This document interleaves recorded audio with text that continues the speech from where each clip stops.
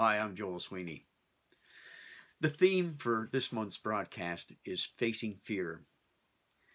This theme really ties nicely into my area of expertise, which is oral communication, but I guess most notably into public speaking and presentation skills, because I think it's safe to say that most of us are reasonably comfortable in the one-on-one and one-on-a-few scenarios where our anxiety levels would be very, very low because we don't see that as a threatening kind of environment.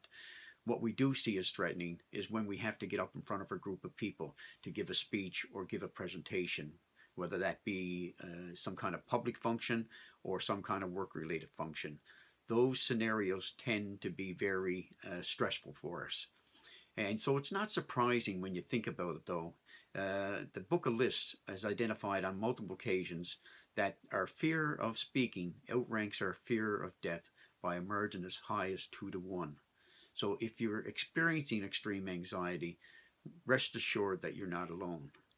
The other thing to keep in mind is that you need to be you need to be patient with yourself. Uh, you need to make sure that you give yourself time. You got to be like the little baby that starts to walk for the first time. Doesn't walk on the first attempt, the second attempt, the third attempt, the fourth attempt. It may take a hundred attempts. It may take more, but the baby continues to try until it walks. The same is true when it comes to dealing with our anxiety around public speaking. Uh, we, and one of the things I would suggest is that we look and strive to manage our anxiety, not to eliminate it. If we strive to eliminate it, we're probably setting ourselves up for an unrealistic goal and not going to achieve it. However, we can indeed strive to manage our anxiety. Having a little bit of anxiety is good for us. It ensures that we pay attention to what we're doing, how we're connecting with our audience, how we're delivering our message, how we've even crafted our message. So putting our energy into that and that focus will in, in, indeed help to manage our anxieties. So in the process of focusing on those things, we're bringing our anxiety levels down and look for other ways. Maybe remember to keep trying until you achieve it. Don't look for uh, success on the very first presentation or the very first speech or the second speech or the third speech or the fourth.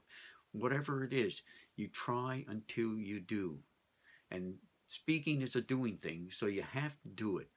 It's not something that you can sit back in the corners you know, think yourself into it. You actually have to get out and do it because it's only through that experience that you really move forward. You've got to step outside your comfort zone in order to achieve that. That's your tip for this month. Now go out and make your voice heard.